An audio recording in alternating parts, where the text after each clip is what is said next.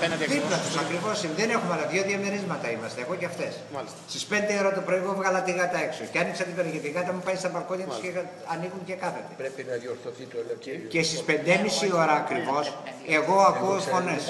Την κλείνω μόνο. Αλλά λέω εγώ, σίγουρα λέω θα έχουν έρθει, σίγουρα θα έχουν έρθει λέω, τα- να πάρει καμία το ασθενοφόρο.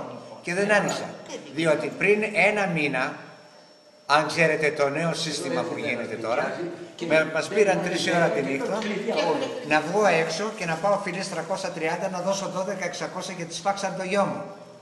Μας Αυτό είπαν. έλεγα τώρα. Εγώ με την καρδιά που έχει τα φάρμακα πάνω και πώς μας έκοψε και, και παίρνουμε το γιο μας, μου μπλοκάραν το τηλέφωνο, το κινητό και το τηλέφωνο το σταθερό. Πείτε μου λίγο πούμε μετά για αυτό το περιστατικό. Ναι. Θέλω να μου πείτε λίγο για την κυρία, να το κλείξουμε αυτό. Λοιπόν, Ε, με τα πόδια δεν, δεν κατεβήκανε με τη σκάλα. Με, τη, Με το τα σασέ. σασέ. Δεν πήραν σασέ, κατεβήκανε με τα πόδια.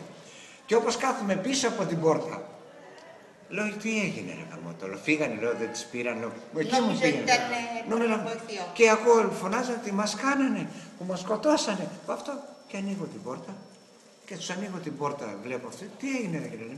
Τρομάξανε μόλις με είδανε, εγώ είμαι της λέω καλά, που να δίπλα, τι είναι; Μου λέει έτσι και έτσι λέει. Αυτοί που φύγαν τώρα, της λέω, ναι μου. τι, τι, σας- τι τους κάνανε ακριβώς, σας είπε δηλαδή ότι... Της, ε, αυτή την, ε, το μάτι της οικοκίνης, γιατί αυτή έμπηξε τις φωνές και την άλλη, η μία, η άλλη είναι γκαγκάβα αυτό, Ναι. και την έσπρωξε μέσα, γιατί τις βρήκαν στην κρεβατοκάμαρα. Τους αδειάσανε τη βιτρίνα με τα σημικά, αυτές κλαίγαν τα σημικά ότι ξέραν ότι εκεί ήταν τα καλύτερα, δεν πειράξανε λέει τα άλλα. Βρέα στα σημικά της λέω, αυτή τη στιγμή είσαι καλά. Και βγαίνω εγώ και παίρνω το 100.